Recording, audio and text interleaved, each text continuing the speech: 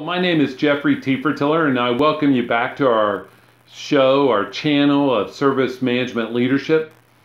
This is a YouTube channel that we look to take on some of the issues, questions, complexities of service management and distill them into very easy to understand short short videos. Today's topic is get this, service portfolio. Now, many people misunderstand this and make it way too difficult, but this is an easy topic. Bear with me. I welcome your feedback through comments or questions on email.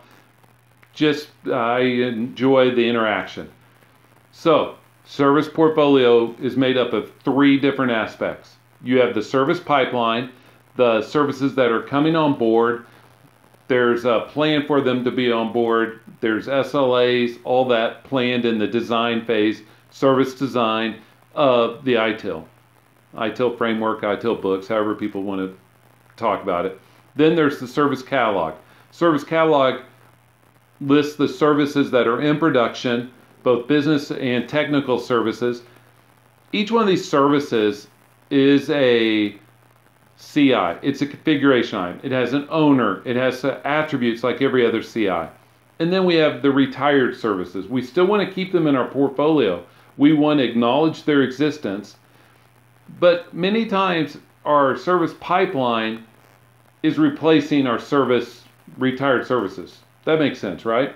And so think of the services as a life cycle. It goes like this. It goes from pipeline, in production services, called the catalog to retired services. And so each service will have that that life cycle like everything else, right?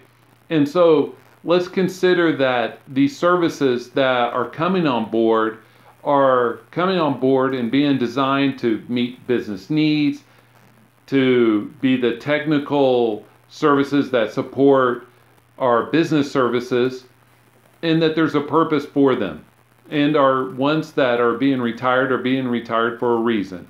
And so there's just this life cycle that these services go through.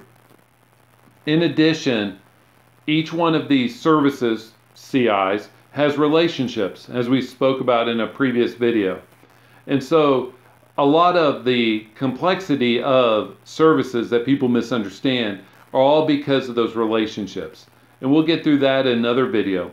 Last thing I want to discuss very, very briefly is there's a difference between the service catalog and the catalog for services that people can request from the service desk or the front end of the ITSM tool. the catalog, I smile only because it sounds the same, but it's very different and it's often confused. I cannot tell you how often I get this question. So, our service catalog is list the services that we provide to the business.